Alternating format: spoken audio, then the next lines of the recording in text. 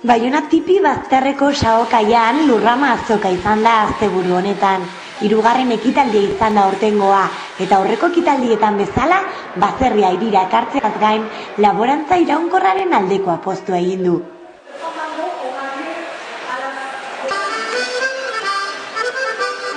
Laukar panditan adin guztientzako ekintza eta ikasgaiak bildu zituzten. Ingurumena gaitzat zuen karpan, ingurumena errespetatzen duen etxe bat izateko bide guztiak irakatzi zituzten.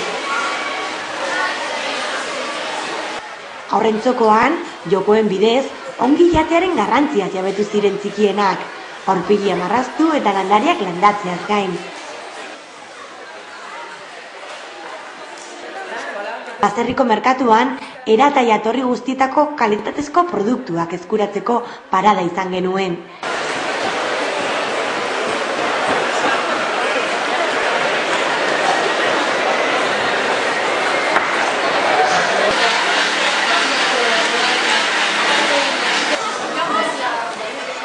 Eta azkenik, Barzarriko kabalak izeneko karpan, zerri, ahate, oioa, ontzarri, eta beste bat animaliak gertutik ikusi eta ukitzeko abagune izan genuen.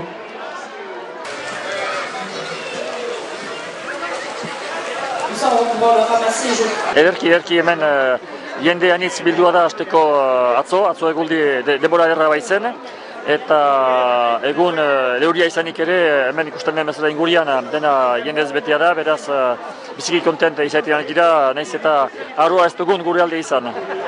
Lehenik ebia ikusi dugu, eta senditu, eta kabaliak, kabale politak, eta gio ber gauzak batu goetxean, eh?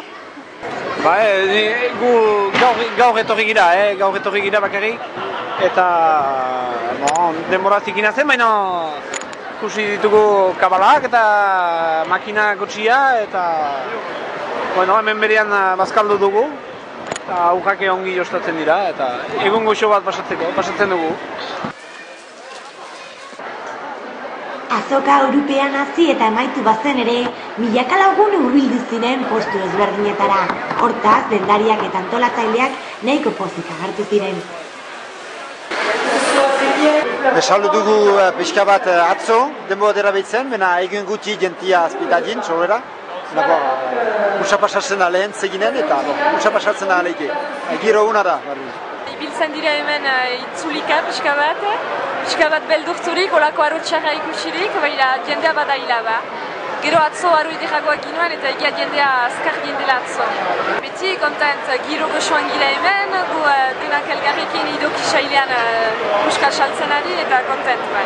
Euriekin hasi da eta euriekin bukatzen da, euria izia hotza denak, baina halede, pitaka beti urbiltzen da jendea.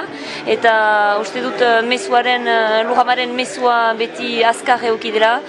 Eta aurten berezik erraiten aldugu laguntzailek bat dutera mehesimendu handia, zenta izan dira gogo lanean eta laguntzaile gabe ez da lujamarik egiten al. Ba, ba, elburu bera dira, iritarrak eta eta barnekaldekoen ahemana hori bultzatzea, ekoizleen eta kontsumiduren artean ere lotura bat egitea. Uste dut lujama hortako dela eta hortan zehar eskolezko laborantza gamarak egituen duen lana ere hori buruz joan da eta urte hau badakigu urte hau biziki zaila izan dela ekonomikoki eta bereziki laborarien dako eta giro honean egitea hola lujama marka hona da lere eta baiko da guretzat. Ondea, matxin!